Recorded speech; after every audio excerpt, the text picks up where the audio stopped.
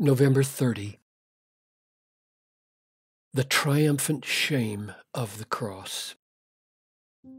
Christ did not offer himself repeatedly, as the high priest enters the holy places every year with blood not his own, for then he would have had to suffer repeatedly since the foundation of the world. But as it is, he has appeared once for all at the end of the ages to put away sin by the sacrifice of himself. Hebrews 9 25 and 26.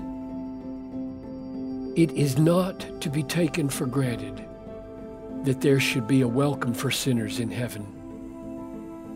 God is holy and pure and perfectly just and righteous. Yet, the whole story of the Bible is how such a great and holy God can and does welcome dirty, unholy people like you and me into his favor. How can this be?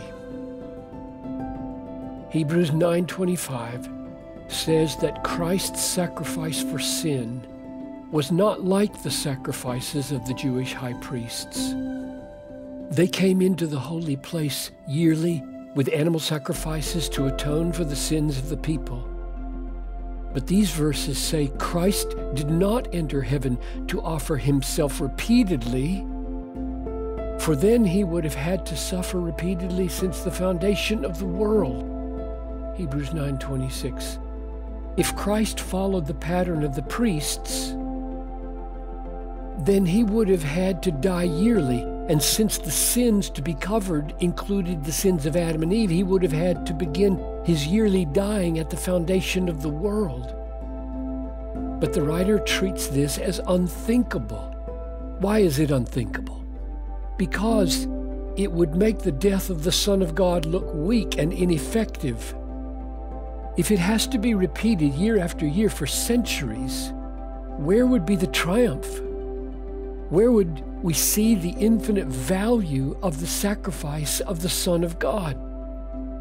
It would vanish in the shamefulness of a yearly suffering and death. There was shame in the cross, but it was triumphant shame. Jesus despised the shame and is seated at the right hand of the throne of God, Hebrews 12:2. This is the gospel of the glory of Christ, the image of God. 2 Corinthians 4 4. I pray that no matter how dirty or unholy with sin you are, you will see the light of this glory and believe.